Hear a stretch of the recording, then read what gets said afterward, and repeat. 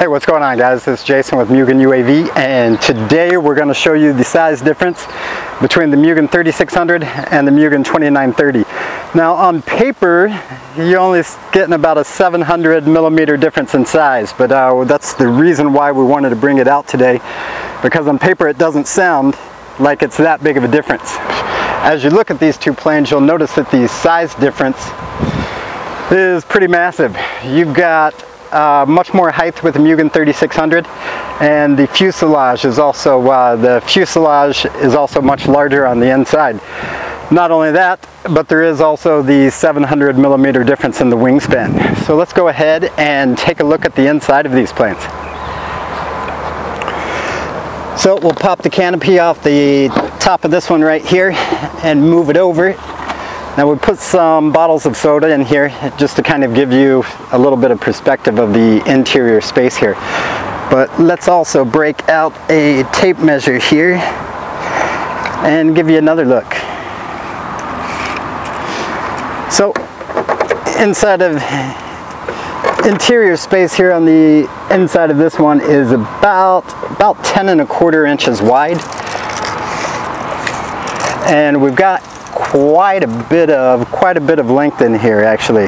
Just going right up to the tip of the plane you're at about 33 inches. And height wise to the top to the top of the um, interior of the fuselage here you got about another 10 and a quarter inches right there.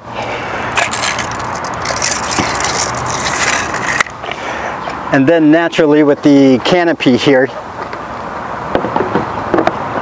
you'll just get this rounded interior surface and how it kind of elongates out to the nose here. So let's move over to the 2930 and take a look inside here.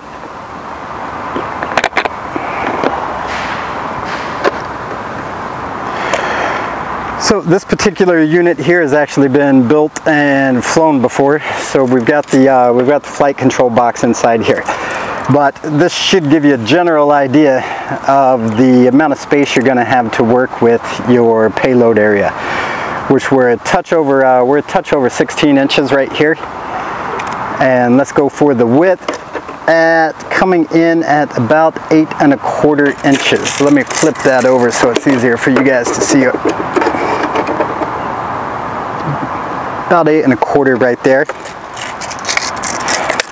And then our height a real working area of the height, you're looking at uh, about six and a half, about six and a half inches.